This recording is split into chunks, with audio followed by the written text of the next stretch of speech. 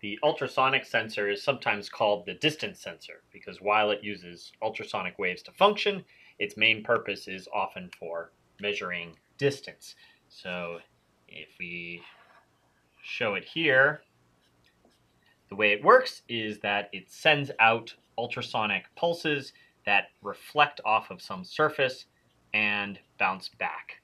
And the question is, what's that distance? The known quantity is the amount of time it takes for these pulses to get sent out and reflected back.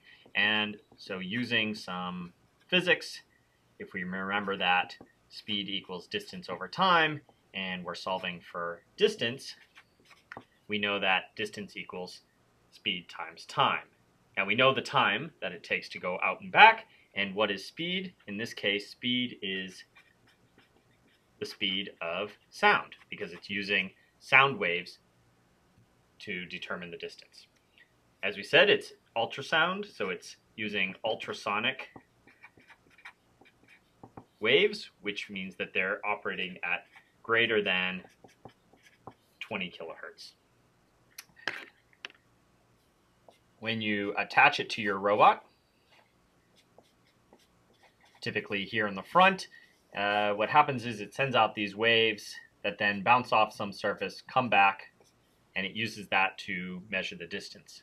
Because these waves are emitted out of the sensor and heading out, they may also bounce off of other objects that are in the environment. So the way that it works is it looks for the strongest reflection back to determine hopefully the wall or whatever object you're looking for, but it means that as it moves around, you might be getting multiple reflections. And in that case, uh, the readings might jump. So you have to be careful when you're using this uh, to, to filter out the readings you don't want and make sure you're getting the readings that you do. Uh, another tip to note is with regards to the min and max.